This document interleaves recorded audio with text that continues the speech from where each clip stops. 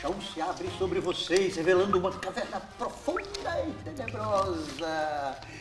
Bleniel faz um encantamento de luz. Então vocês veem diante de vocês o verme dragão! Caralho, cadê meu vibrador? Nem vou insistir pra continuar no jogo. O quê? Twitch pago, mexendo de sexy shop, meu amor. Acho maneiro esse negócio dela promover o alto amor. Não, sim, mas ela vive disso, tranquilo. Agora vem cá.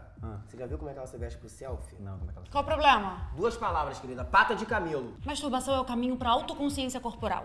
Tem essa frase no Matrix, não? É, e chamando a mola também ajuda a preservar contra a assombração. Hein? É, chamando a mola, pupunha, Punheta, cara. É, pu- é, porque eu tava querendo evitar falar esse tipo de coisa. Mas enfim, vocês sabem que eu tenho um problema desgraçado com assombração. Mas eu li no livro dos espíritos que os desencarnados, eles respeitam a privacidade dos vivos. Tipo, se você tá ali no vaso, ou às vezes você tá... Puta que pariu, moleque! Tu toca punheta quando você tá com medinho de fantasma, é isso? Olha só, meu pai era kardecista, ele via espírito na porra toda. Lida com isso quando você tem 13 anos. No desespero, eu apelo pro hentai e mando ver mesmo. Hentai! Ah, aqueles desenhos japoneses de pornografia com aquelas japonesas com os olhos enormes. Broxante. O moleque tá perdendo a linha e você tá preocupado com o estilo do desenho? Jura? Pra mim, o que funciona é o cosplay. Não, eu gosto mais de desenho pornô com personagem infantil. Porra! Meu amigo ficou nessa onda aí, hoje em dia ele só consegue se excitar vendo Bob Esponja. Fica ligado, cara.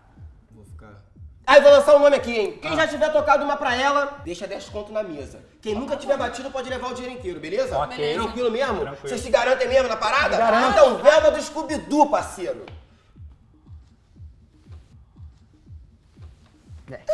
Tá ligado? Tu acha que eu sou moleque? Ah, vai lá, vai. Aí põe, põe 20 aí que eu tô quebrado hoje. Valeu. Mas é, eu peguei.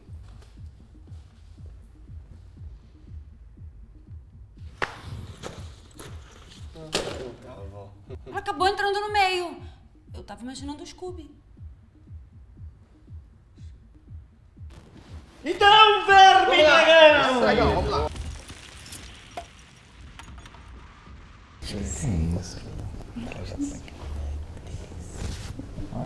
Puta gostosa.